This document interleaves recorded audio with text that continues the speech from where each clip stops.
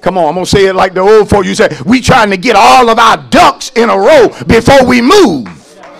And then after we moved, the ducks was in a row, but nothing happened. See, it's better to move on God's timing with your ducks out of line than to think you know more than God.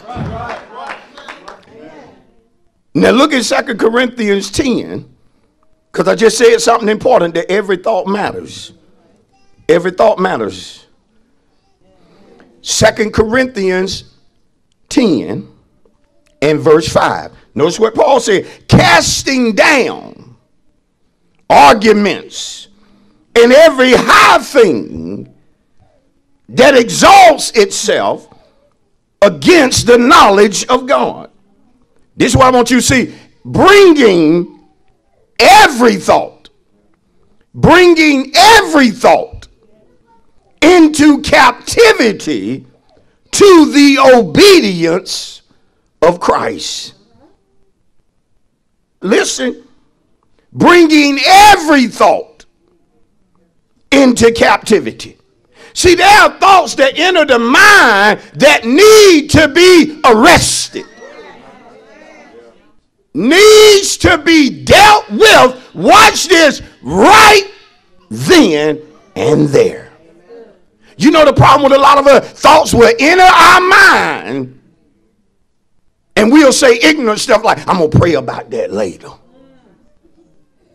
No, you know what I learned to do? Every thought that comes into my mind that is not of God, y'all better hear me. I'm going to arrest that thought right then. Right then.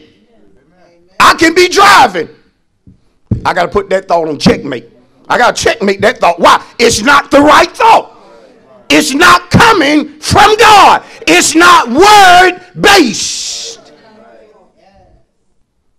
And if you're not doing it, then you're not training your mind to deal with negative thoughts because they're going to come. I said they're going to come, especially when you're going through trial. Negative thoughts are going to knock at the door. Come on. I didn't get enough amen. I should have got that. Negative thoughts are coming. But I'm wondering this morning how many of us deal with bad thoughts, thoughts that are not of God, immediately. Listen, and sometimes you are not in a place where you can pray out loud. I mean, know what I'm talking about? But I still have to arrest this thought. I still got to deal with this. I said, I still got to deal. That's the wonderful thing about God. God don't just hear us verbally. But you know you can pray inwardly. I said you can talk to God without a word coming out of your mouth. You can cast down thoughts and nobody hears what you binding up. Nobody hears what you are resting that entered into your mind, but you let that thought know, not here. You won't stay here. You won't build the house here. But see, what we do is allow thoughts to build a nest in our mind. Listen to me. Why do you think some of you don't feel good about yourselves the way you need to. Don't you know that's something that has to do with your mind? Some of you people can compliment you and it won't raise your level of, of feeling good about yourself. Even though that's not what you should be totally dependent on, but it's good to get confirmation sometimes.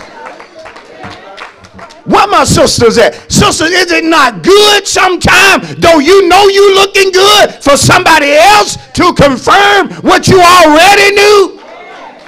Is that not a good thing? But you check out people who battle low self-esteem, low self-worth. Those are thoughts. Those are thoughts that enter their mind telling them they're not good enough. Come on. And, and that's something serious. That's something that has to be dealt with. I said something has to be dealt with. How am I going to love everybody else, but I can't love me? To feel good about you and what God doing in you and through you, but yet I don't feel good about what he doing in me and through me? How can this be? Those are thoughts.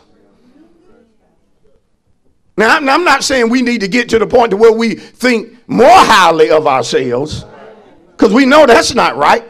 But you have to deal with thoughts that come to kill your purpose. Do you hear me? Thoughts sometimes come like snipers, just shooting. Fiery darts that the enemy will throw, listen, at your heart, but your heart represents your mind. If God done told you he was going to do something and a thought enters into your mind that what God said is not going to happen, deal with that. Deal with that. Now, see, I'm so good at the word that most of the time I would not only deal with it in my own way of speaking, but I'm also going to deal with it according to the word. Which means I got a scripture for that. Which means I know Bible concerning that. Any thought that tells me that God don't want me to prosper, oh no, I'm dealing with that. I said I'm dealing with that. And learn to deal with it while bouncing checks. Yes, I did. While bouncing a check, I learned that I'm not going to always bounce them. There's coming a day where I'll write them and I'll write them big and they'll cash or they'll go through. I'm talking to somebody, but I had to deal with the thoughts that tried to tell me this is your life. But I said it can't be because he came that and have it how? and have it how? Checkmate on that thought.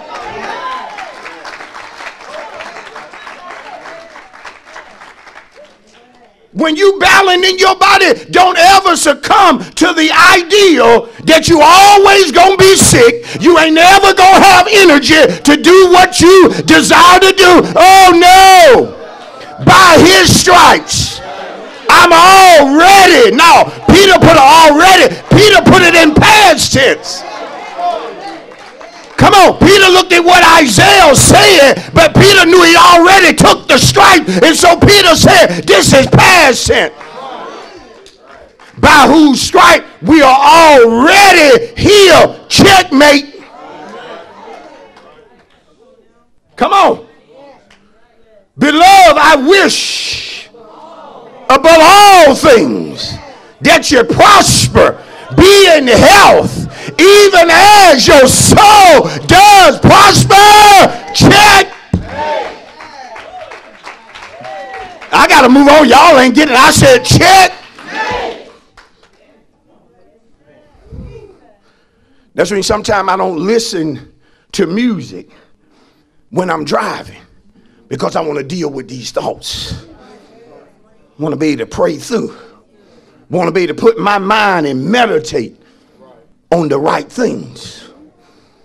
Come on. Because a lot of what we listen to that they consider gospel music is not even glorifying the God whom we serve. They playing that song in the club and in the church. I need something that's going to arrest these thoughts. I need something that's going to deal with negativity. Know I'm right. And, and, and, and, church folk get tricked all the time into thinking that what I'm teaching is a pastoral thing. Well, that's for pastors. No, this is for saints. This is for all of God's church. All of us, when we start maturing in God, one of the things that suggests you are mature is your ability to deal with negative thoughts.